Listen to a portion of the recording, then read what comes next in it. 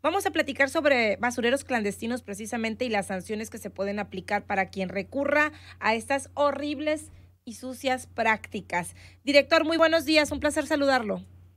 ¿Qué tal, Karina? Muy buenos días. Muchas gracias a ti y a todo tu auditorio por, prestarme un poquito de su tiempo, sus órdenes. Muchísimas gracias. Pues yo ya dije basureros clandestinos y ya empezaron a llegar miles de reportes por acá.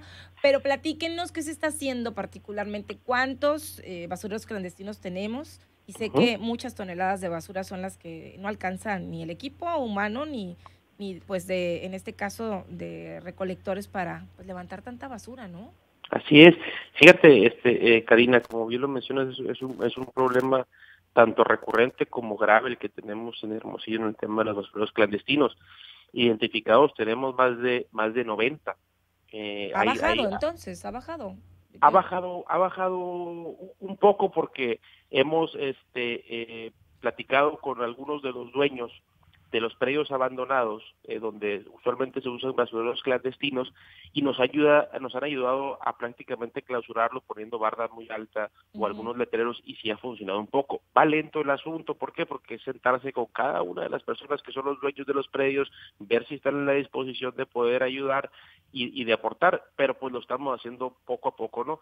Sin embargo, sigue siendo y es un problema este eh, bastante grave que tenemos aquí en Hermosillo. Eh, ah. Yo estoy viendo algunos casos que son con particulares. Por ejemplo, acá me llega uno que es un señor que es un carrocero y adentro tiene basura, pero afuera también, que este está en qué colonia, déjeme checar por acá, que nos llegó desde hace días y nos reiteraron ahorita, ya lo mandé. En la colonia mm, Ernesto, profesor Ernesto López Riesgo, esquina con California, número 5, colonia San Juan, pegado al Parque Madero. Pues es una carrocería con muchísima basura que de estos, de estos basureros clandestinos, de los 90 que tenemos, ¿cuántos tienen o están en terrenos que sí tienen dueño, que sí pueden ser sancionados? ¿Se tiene estimado ya?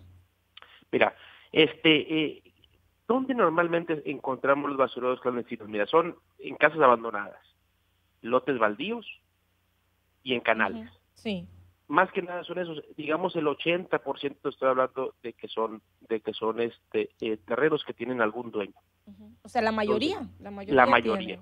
La mayoría. El otro 20% son algunos terrenos pegados a los cerros o algo que no tienen dueño. Lo que pasa que esos son muy grandes en extensión. Son los más grandes, pero son los, los más pocos en, en número.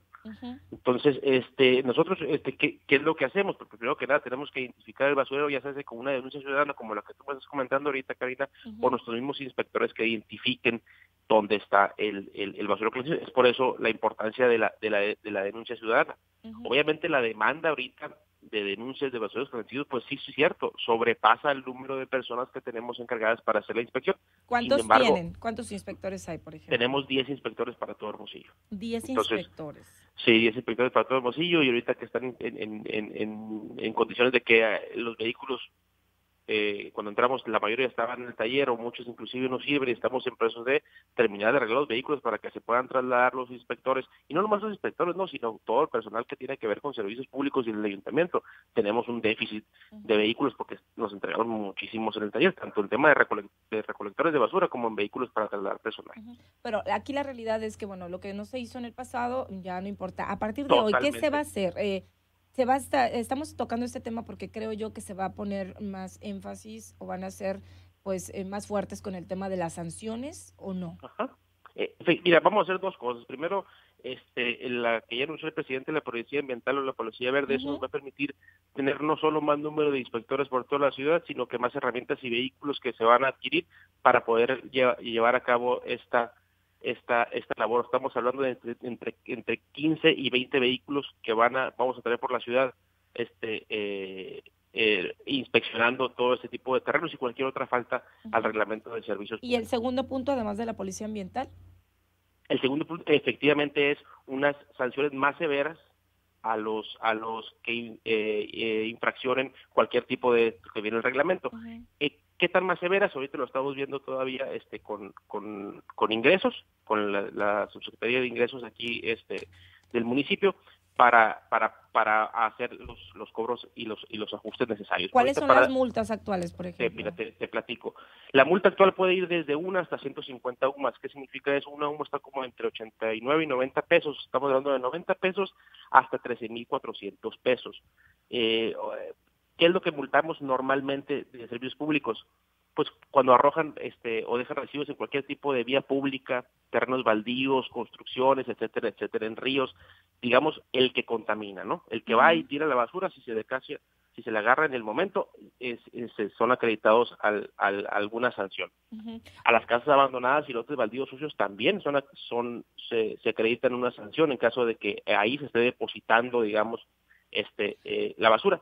Y es el proceso que estamos haciendo ahorita, prácticamente citando a cada uno de las personas que, que, son dueños de estos lotes baldíos o estos predios para ver con ellos de qué manera podemos evitar que esté pasando eso, porque luego llegan y si es cierto también, algunos dueños dicen, oye, yo le pongo un cerco, pero me lo roban. A cada semana antes estamos viendo con seguridad pública a ver qué vamos a hacer para que no estén robando los cercos que están poniendo los, los, los privados, porque también los entiendo. Oye, estoy poniendo el cerco cada cada mes, imagínate la inversión que estoy teniendo para poder este eh, eh, tenerlo cercado el, el, el etcétera, etcétera, etcétera. Oye, eh, a ver, por acá nos, bueno, de estos 90, ahorita cuántas sanciones se han aplicado desde que entró este actual gobierno, por ejemplo, de estos 90, ¿cuántos han sido sancionados al Mira, la semana pasada notificamos alrededor de 77, 77 este, predios en notificación, estamos en proceso ¿Cuál es el proceso? Se identifica el basurero, luego se notifica, luego hay un plazo de 1 hasta 30 días para que limpien. Para que se realice la limpieza. En caso de que no se realice la limpieza, el ayuntamiento entra, hace la limpieza y se, y se levanta la sanción. Se le cobra la limpieza por metro cuadrado de superficie y por metro cúbico de basura retirada y aparte la sanción que te comenté que va entre uno entre uno hasta 150 UMAS. Pudiera sernos más de 20 mil pesos. Exactamente. 30 mil pesos pudiera duplicarse, pues. Y si es recurrente, eh, puede ser hasta 300 UMAS. O sea, si, si es la si, ya es la, tercera vez, por ejemplo, que vamos a multar a la gente, ya puede ser a, hacer acreedor hasta 300 sumas, o estamos hablando de 25 mil pesos más o menos, pues de pura sanción, más lo que cueste la levantada de la basura. Pues yo creo que mano dura, ¿eh? Mano dura contra los sí, Por acá nos dicen, eh, ¿por qué permiten que a Metalera dejen entrar toneladas de basuras diarias? Los invasores de la presa están haciendo negocio, inspectores piden mochis, mando fotos a servicios públicos y que no se hace nada. También calle Renacimiento, Boulevard Cimarrón y un terreno enfrente de la ciudad de los niños y en el Boulevard Picacho, donde hay terreno grande y a diario amanece basura escombro en gala residencial.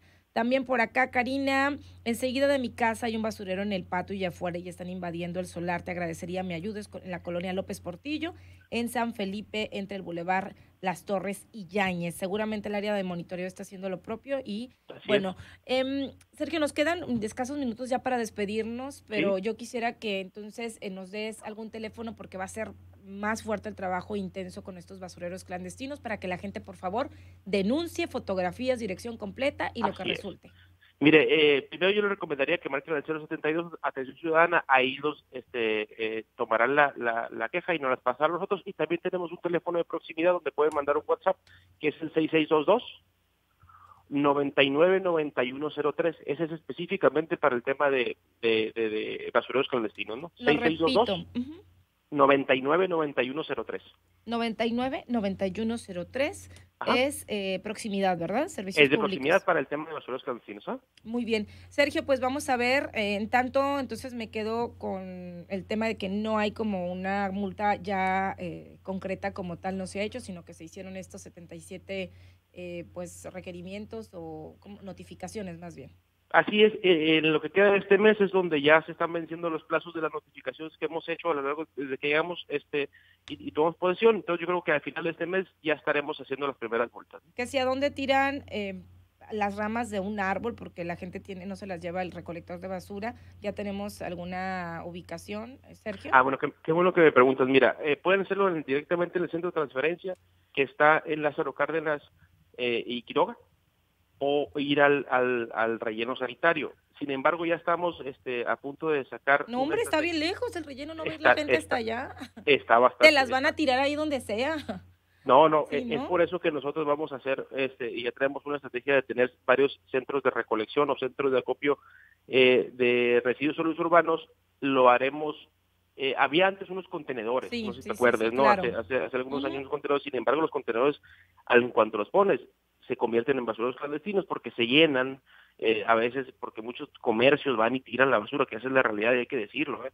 el 90% de la basura que está en los basureros clandestinos o en los contenedores este que no se han limpiado es de los comercios. ¿eh? Pues los comercios deben, los comercios también. Los comercios deben de tener una eh, recolección de, basura este, privada, contratada por ley. Entonces, esa es la realidad y es lo que estamos atacando y también estamos yendo con los comercios a avisarles y decirles cómo, cómo deben de ser y si no, van a ser este, acreedores también a las multas. Pero sí cierto, tenemos que, que, atacar esa demanda y estamos a punto de lanzar un programa, estamos nomás terminando de definirlo para hacerlo bien, pues no nomás hacerlo inmediatamente y luego que se convierta en un problema, como, como, como con los famosos contenedores. Vamos a estar atentos con este tema donde va a haber puntos para que la gente pueda llevar este tipo de basura. Muchísimas, gracias, Sergio, buen día. A ti por el espacio, saludos. Gracias, eh, Sergio Pavlovich, director de Servicios Públicos Municipales.